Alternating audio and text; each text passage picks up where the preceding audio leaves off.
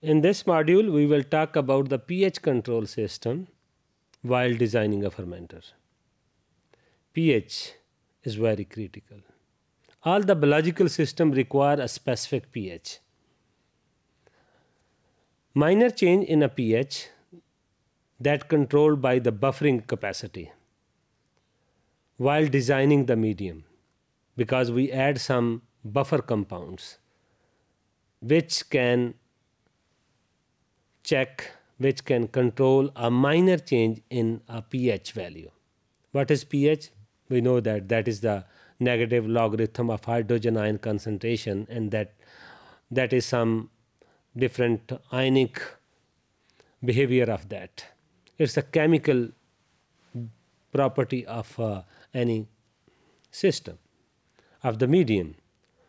So if we set the pH at the start of the fermentation medium formation, suppose we set the medium at uh, pH 7. So when we sterilize, sometimes at the result of the sterilization, there is a change in uh, the pH. Sometimes when there is a growth, by the depletion of some specific uh, ingredient, suppose as an example, when there is ammonium sulfate and the organisms utilize the sulfate ions and then in the medium remain ammonia.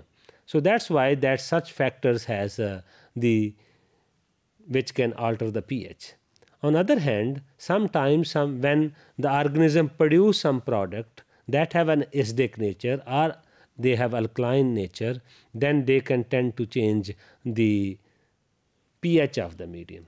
Sometimes pH we have to regulate the pH just for the sake of some desired product.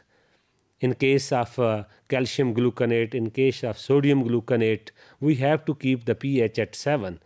So, because when there will be automatic run and there is no pH control, then there is a gradual change in the pH to the acidic side. So, the pH control system is very critical. Normally, when we want to control the pH, we have to use either the alkali agent or the acid agent.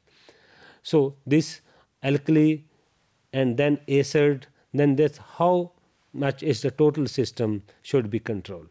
So, pH is very critical. So, as concerning the what are the agent which can be utilized as a neutralizing agent. So the neutralizing agent used to control the pH should be non-corrosive because in case of uh, the hydrochloric acid, if the body vessel is uh, stainless steel, we cannot use any chlorinated compound, either those compound which have INE in the end. So we cannot use such compounds. So they should be non-toxic to the cells when diluted in the medium. So the potassium hydroxide is preferred in case of alkali, sodium hydroxide, as potassium ions tend to less toxic to the cells than sodium ions. So KOH is more expensive than NOH. So one is the type of uh, the compound and other is the rate of that. So we have to be very careful. So here you can see that hydrochloric acid should never be used as it is corrosive even to the stainless steel. So sulfuric acid in a concentrated should not be between 10 to 10 percent and 80 percent as between this range of sulfuric acid is more corrosive. So these are very strong compounds. We should be very careful while selecting our neutralizing agent.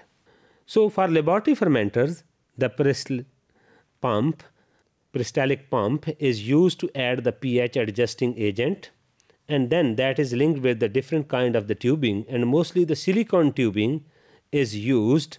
So the silicon tube will decay in the presence of high alkali concentration and when we sterilize that material in a high temperature then the silicon tubing have a restricted life.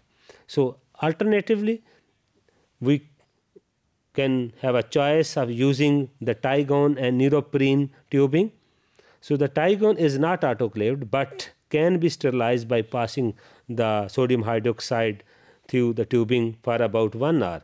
And the neoprene is autoclavable but is not transparent. So that's why the Tygon or the silicone tubing is mostly used uh, for the addition of uh, the neutralizing agent. So the for fermentation that produce a large amount of acids, for example, lactic acid fermentation is using media, then there is a uh, molarity, some specific molarity is needed. So alkali that have a 4 molars and above is uh, preferred. So this will prevent the dilution of the medium because when we use the diluted neutralizing agent that can raise the volume of the medium that can affect the kinetic parameters. So we should use a specific strength and the concentration of acids or the alkali agents which we use as a neutralizing agent.